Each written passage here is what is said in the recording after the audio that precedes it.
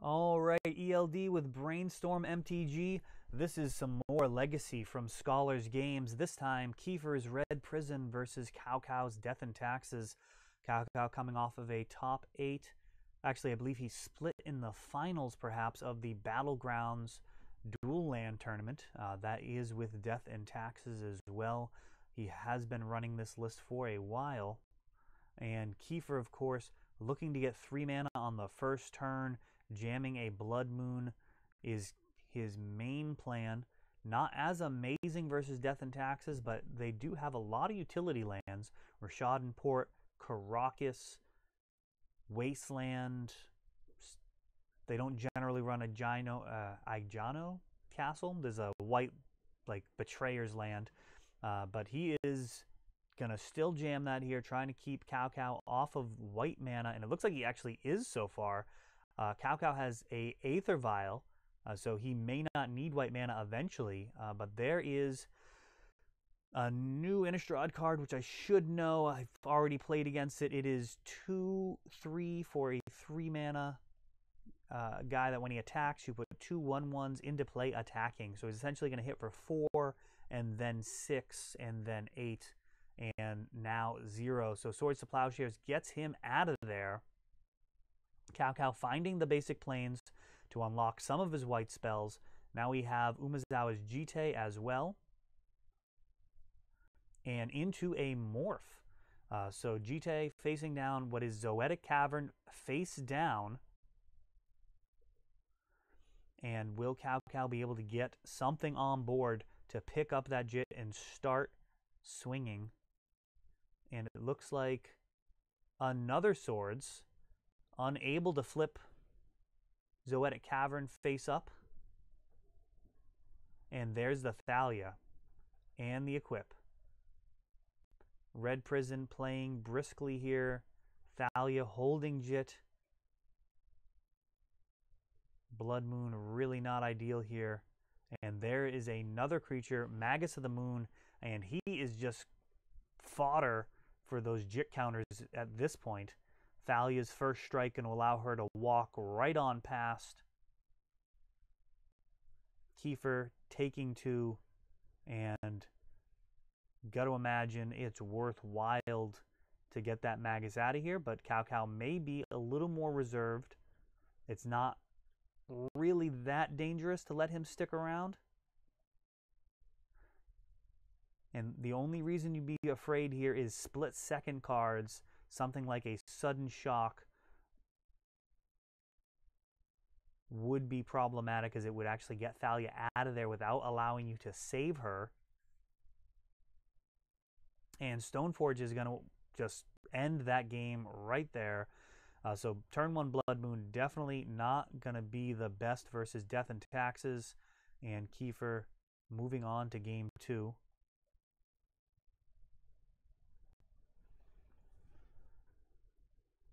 During the shuffling, I'd like to thank Scholars Games. Uh, this was filmed on our Wednesday night Legacy series. Every Wednesday at 7:30, uh, we play four rounds of Legacy. Stream it to Brainstorm MTG at Twitch.tv, and we also then archive it here on YouTube uh, now with commentary. Uh, new microphone set up here this week. Definitely want to hear everybody's thoughts on that. Hopefully it sounds a lot better than last week's coverage. And Cow Cow has played this matchup uh, many times before. Kiefer very often playing this red prison deck. Uh, there are times where he also adds white as well. He's done a lot of brewing in this general space, uh, but the cards you most likely are going to see with him are Chalice of the Void and the Blood Moon effects, both Blood Moon and Magus of the Moon. Uh, not really excited by the printing of Blood Sun. Not as good in this type of deck as it is perhaps in uh, Kenton's sneak attack build that he's been bringing around to scholars.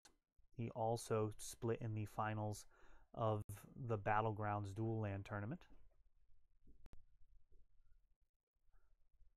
So, having said that, it's actually kind of neat that the, let's see, I think it was a blue deck and the mono red deck. I'm not sure which one actually made it. It was either Cow Cow or Kenton in the finals. Either way, it was not two blue decks in the finals of that tournament, uh, which is nice to see. The non blue decks also performing. Death and Taxes is, of course, a pretty substantial portion of the meta. And you got to imagine it's only going to pick up from here with the reprints in Masters 25. We have both Rishadan and Port and Thalia in that set. And both of those cards were some of the more expensive in the deck. Certainly Rishadan the most expensive.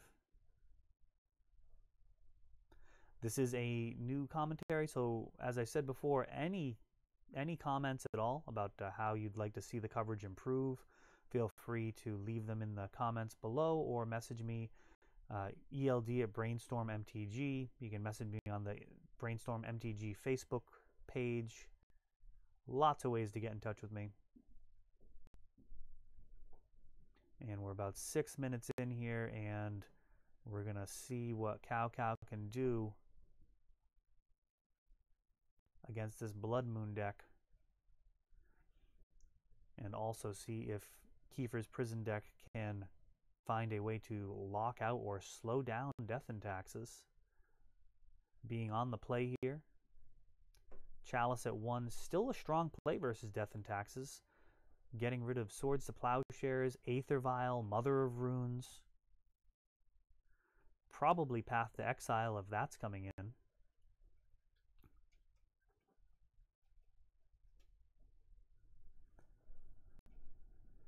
Aether Vial could be part of a balanced breakfast there in terms of stopping Death and Taxes from casting spells that would allow Blood Moon to potentially bottleneck the mana, but it is so hard or so rare for Death and Taxes to not draw the requisite plains in order to actually cast their spells.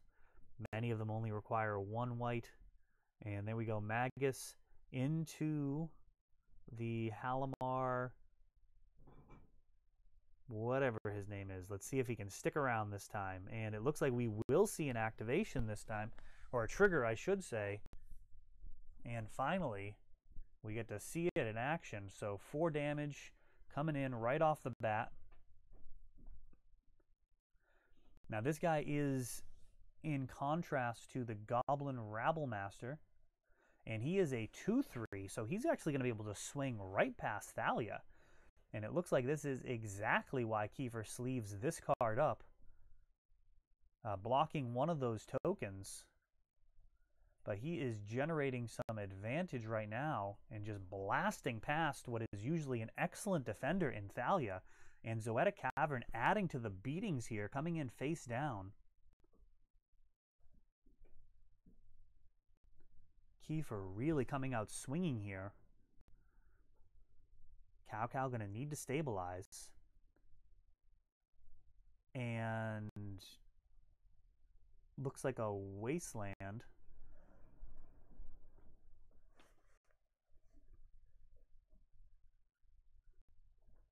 So no moon effect.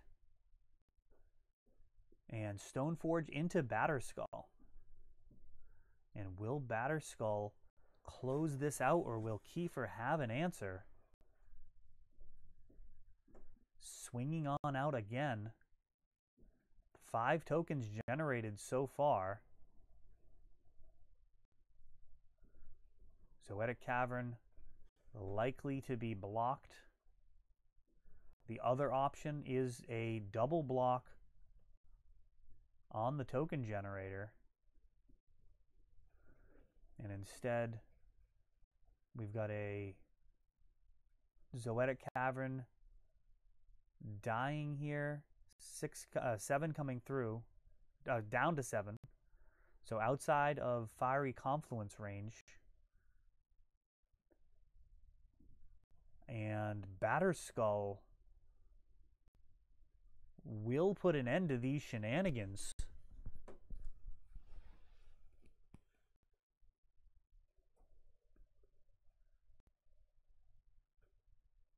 Batterskull is going to stop that attack step, even getting up to four more, uh, even getting two more tokens for a total of four, really not going to be enough.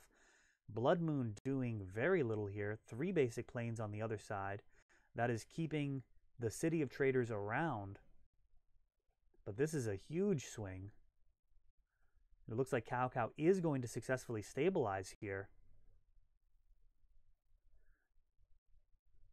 Kiefer is going to need to have a braid or some instant speed artifact destruction in his hand.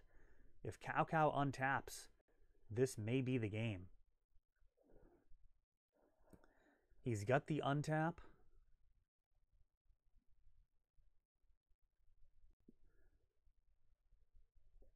If Kiefer did have that artifact destruction, he would have been able to fearlessly swing in the previous turn.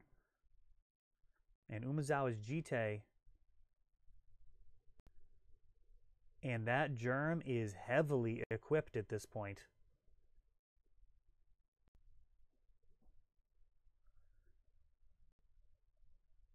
We've got two counters on Jitte. And this game should still be wrapped up for Cow Cow.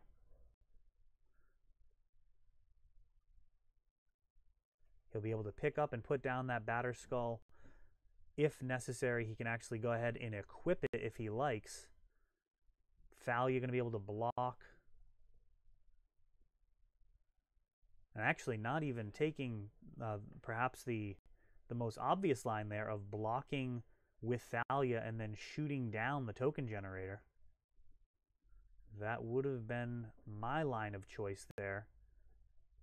And Thalia now picking up and turning sideways with vigilance, of course. So six first strike.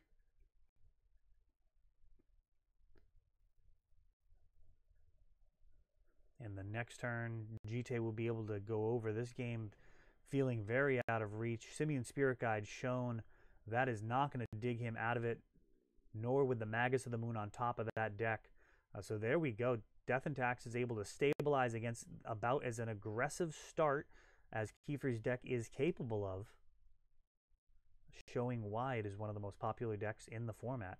Well, that is the end of this match, but we have more for you this week. This has been ELD with Brainstorm MTG. Thanks for watching.